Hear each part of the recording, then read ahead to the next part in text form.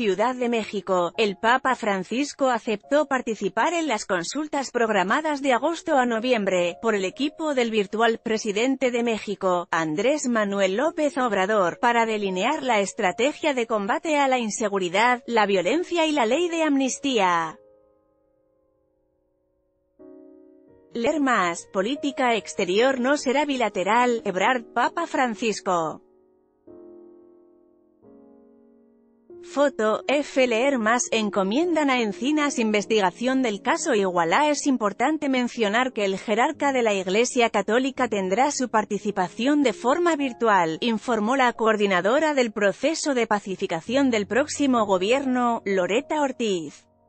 Destacó que el Papa Francisco hará sus comentarios respecto a la estrategia de combate a la violencia y la inseguridad en territorio nacional, y va a ser virtual, vía Skype, porque obviamente no va a venir, ya está enterado, sí aceptó, tenemos que esperarlo, en su agenda, pero ya aceptó. Loreta Ortiz, foto, Agencia Reforma Asimismo, adelantó que su santidad enviará dos expertos en la materia. Las consultas contemplan los ejes temáticos de mayor importancia, los cuales van a permitir impulsar una reconciliación y la paz en el país, y en donde se analizará una ley de amnistía y legalización de las drogas. Los foros de consulta para definir la estrategia de seguridad están programados para el próximo 7 de agosto, así como su conclusión en el mes de noviembre. Ortiz manifestó que, de ahí van a salir los insumos para hacer toda la estrategia de pacificación del país, va a derivar en distintas leyes y políticas públicas, como se realizarán las consultas.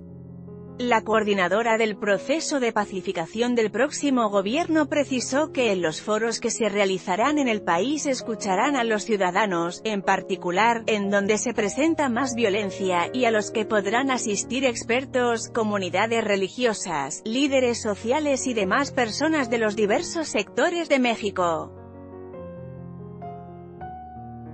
Está prevista abrir una plataforma digital para conocer propuestas de la población, que serán incluidas en las conclusiones de los foros y que deben de ser aplicadas a partir de enero de 2019. En esta nota, Foros Papa Francisco Consultas México López Obrador Combate Inseguridad Violencia Ley de Amnistía